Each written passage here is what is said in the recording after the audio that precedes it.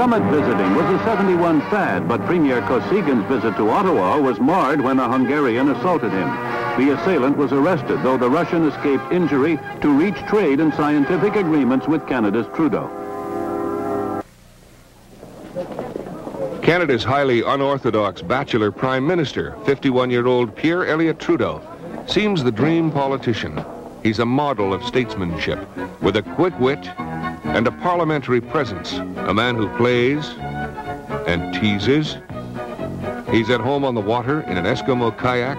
He shoots and dances, paddles and munches and bikes, surfs and whirls and jumps and clowns around to the amusement of his fans. He's one of those men who does most everything well. He has a stable of lovely ladies, but none holds his attention for long. Then on a holiday in Tahiti, he meets Maggie. Maggie Sinclair, and they are wed. Free-thinking Pierre, free-spirited Maggie, who is something of a flower child. I think that there was a, a beautiful revolution happening with the with the, the flower flower children or the hippie movement of getting back down to earth. And I'd hate to if this life destroyed that in me, it would have destroyed, I think, the best part of me. And so they settle down to a quiet domestic life, to live happily, but not for long. Ravishing.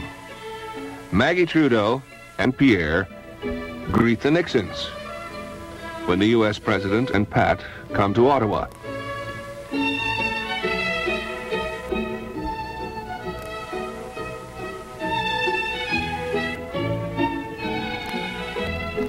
It's all part of the Nixon foreign visit schedule, which has him, among other things, addressing Parliament. It has been said that Canada is bounded on the north by gold, on the west by the east, on the east by history, and on the south by France. Meanwhile, outside, the protesters can't decide if it's a peace rally or an independence. Maggie Trudeau, one woman who's rethinking the basics.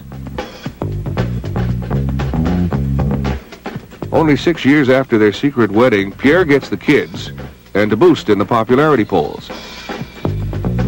Maggie gets her freedom, something she talked about when she got out of the hospital.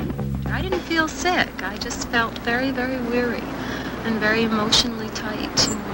I needed help because I was really, at, at that time, reaching kind of a crisis stage in my life when I was, uh, after the election, the letdown after the election campaign, I, I found myself very thoughtful about what I, as a human being, could do in the next in the next while at my husband's side. You know, not just, I, I didn't want to just be caught in the role of, of politician's wife, and I wanted to, uh, to have a chance to think about things and to,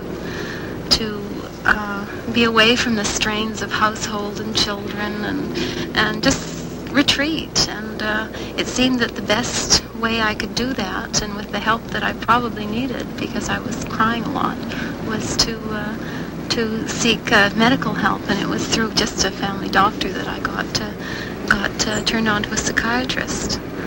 I think it was a very positive thing that I did. It, it, it seemed to really help me a lot.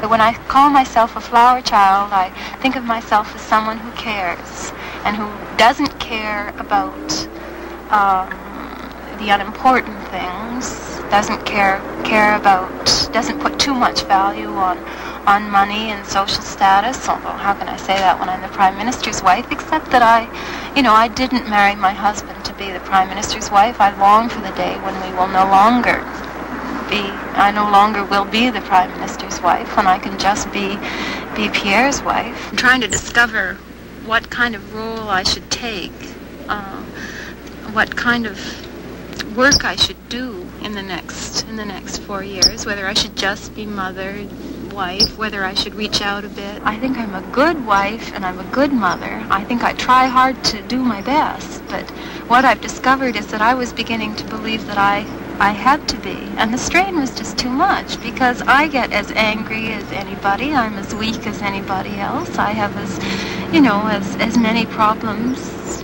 You know, I have as, as, as anyone else. And you, you can't be perfect. You just can't be. You, you can't please everybody, so you might as well please yourself. You know? I just, it's just, uh, you know, I just really like to go out dancing at, you know, or, or go out and have a pizza, or just go out and drive around in the rain at, at two in the morning. Driving around? At Toronto's El Mocambo, Maggie celebrates her wedding anniversary without Pierre. While he minds the kids, the flower child wife of the Prime Minister is partying with her favorite rock band, the Rolling Stones.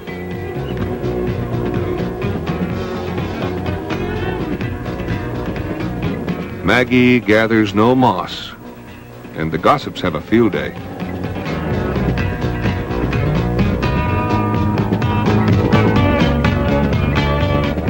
She's off to launch a new career. Her chief asset? Well, I think that uh, mainly it's because of her name. Uh, I certainly wouldn't hire her as a photographer if she didn't have some, you know, capability of shooting pictures. The picture of Yasmin is uh, is very nice. I mean, it's an original sort of approach to a portrait in New York. Uh, I've, I've, you know, we've we've done hundreds of stories here on celebrities in New York, and no one's ever done anything quite like that. She seemed to relate to the people, get them to do sort of. I mean, she's obviously, he's obviously having fun with her. Do you think she can make it? Well, you're, I a, think, you're a veteran Life magazine photographer of some repute. Do you well, think? yeah. That? Well, I, I, th- I'll tell you, it just depends on her, on her uh, attitude, on whether or not she wants to make it. Yes, I think she, I think her photographs are, are pretty good. I mean, she's, these are not amateur, real amateur pictures. They're pretty good pictures. And what does Maggie think? No, I think I'm pretty lucky. Late summer, 1978. A beach in southern France. A boy.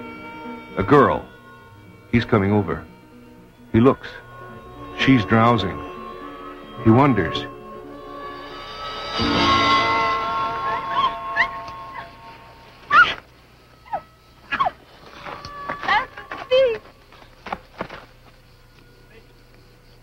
Why, it's Maggie Trudeau. The decision to make this movie was made so fast, and it was sort of, you know, help. Should I do it or shouldn't I do it? It's, it would be a good experience for me to do a romantic comedy. It would be very nice to be in the south of France. Um, Pierre thinks it would be very good for me to, to learn French, you know, really well, because the children now are starting to learn French, and I'm really going to be left out in the family if I'm the only non-French speaking person. J'ai compris, j'ai tout compris. Compris quoi? Compris que votre conscience amène à zoomer un peu trop à mon goût votre héritage animal. C'est l'un des meilleurs moyens pour arriver au samadhi. Je suis sûre qu'il doit y avoir d'autres moyens, plus spirituels. La satisfaction de l'esprit passe avant tout avec la satisfaction... La... Eh, pardon. This time he blew his lines.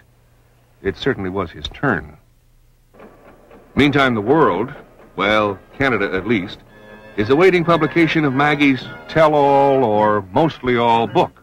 It's not to be released until next April, but it's already on the presses, and it's expected to bring in a million dollars or more in sales and serial rights. Some suggest the title, Beyond Reason, describes the entire Maggie affair. And I like to chop it up in, into thirds. The third of the people hate what I do. A third of the people love what I do. And a third of the people just couldn't give a damn what I